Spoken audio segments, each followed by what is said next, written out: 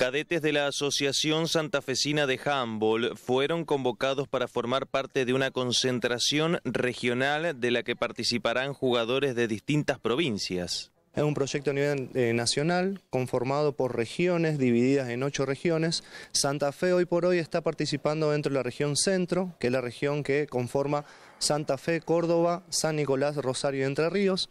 Eh, y lo que hoy por hoy a lo que fui convocado fue al, selectivo nacional de categoría menores, eh, al cual tengo que participar la semana que viene, del 18 al 20 de julio, a la concentración nacional en donde ahí sí ya van jugadores de toda la región que han sido vistos en todos los entrenamientos anteriores. ¿Y cómo fue todo el proceso de selección? ¿Cómo quedaron elegidos?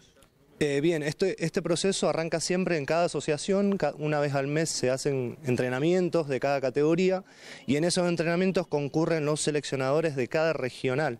En, en, el caso de Santa Fe ha venido el profesor de Córdoba que se llama Carlos Napolitani, a los entrenamientos de Santa Fe y allí él ha seleccionado a seis jugadores de, la asociación para que participen del encuentro regional en donde ya cada jugador de cada asociación fue nombrado y citado para participar de, la concentración. La misma se va a llevar a cabo el lunes y martes 17 y 18 de julio en la ciudad de eh, Arroyito, Córdoba.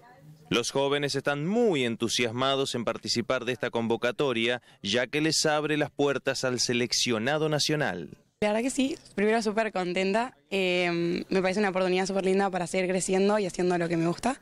Em, la verdad me enteré por mi entrenadora que me contó y la verdad me puso súper contenta porque mi objetivo es seguir creciendo y si puedo eh, me encantaría poder vestir los colores de la camiseta de la selección. Eh, esta concentración es muy muy importante porque ojalá si se da eh, después te ellos te eligen para el seleccionado, seguís creciendo, nuevas oportunidades, seguir conociendo gente y es súper lindo. Juego de lateral y pivot, pero me gusta más el lateral.